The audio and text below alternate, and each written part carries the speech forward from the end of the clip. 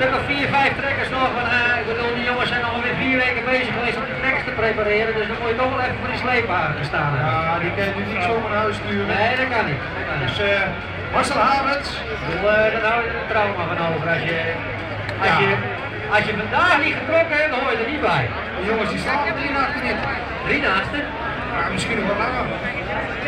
Marcel Havens met zijn uh, Renault 56.